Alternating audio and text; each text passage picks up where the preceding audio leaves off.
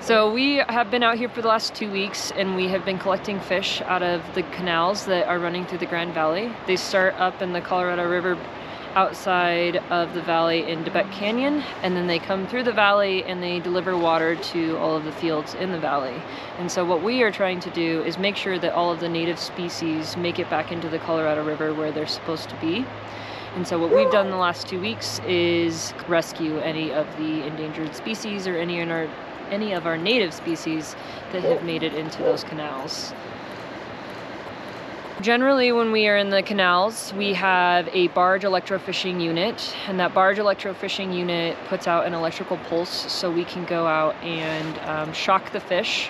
When we shock the fish, they come up to the surface temporarily for us to net them out of the water, and then we put them into a live car, and then eventually those fish will go into our tanks where we will then be able to measure and weigh them. Flannelmouth. 491.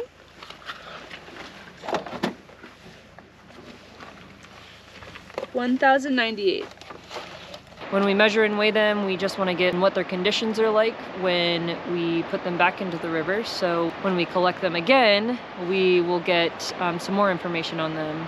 And the way that we know which individual is which is we put a PIT tag in them. And this is a passive integrated transponder tag what it does is, is it allows us to um, capture what fish that was. So if we captured it um, in the canals, we put that in there, and then we capture them again in the Colorado River, then we know we captured them there, they went into the river, and now we know did they grow uh, to a certain length, or did they eat really well, and now are they a little bit heavier than they were when we first released them.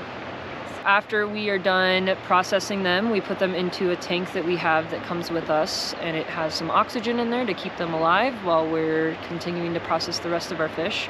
And then we bring them to the Colorado River where we then release them at any of the boat launches here in the Grand Valley and that allows them to go back home.